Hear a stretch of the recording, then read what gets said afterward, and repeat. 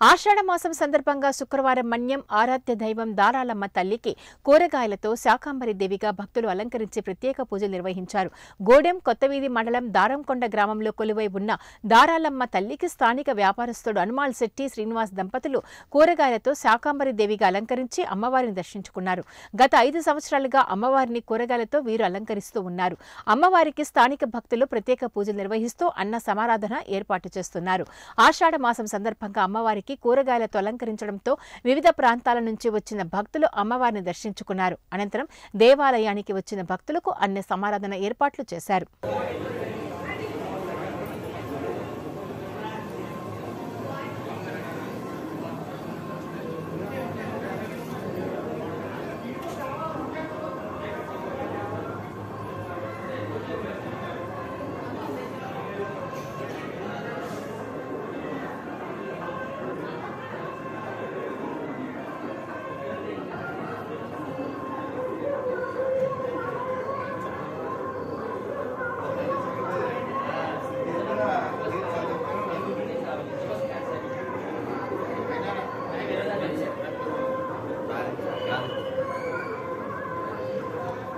खरीद भाव नहीं